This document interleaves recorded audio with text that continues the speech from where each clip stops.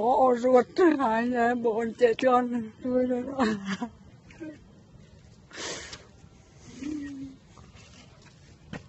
mẹ thì ôm đầu. Con thì mọi đứa mọi nơi đi làm ăn gì khổ, khai thằng con trai thì thằng cái đứa con thằng cái đứa làm ăn nội khổ lắm ăn nó về ra làm chắc.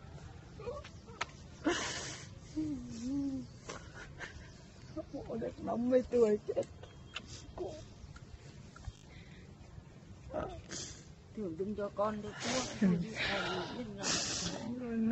Dạo ơi dạo ơi nội với cháu nhiều nói ôi thấy người ta làm trải đường tầm với cháu không làm cháu cổ lối à rồi nói ô khuyên đêm khuyên ngày nói.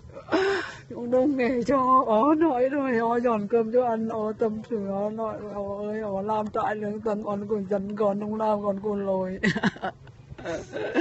ó nói, bộ con rung lại cũng không còn gì được một con nói, con không nghe gì, năm năm nữa này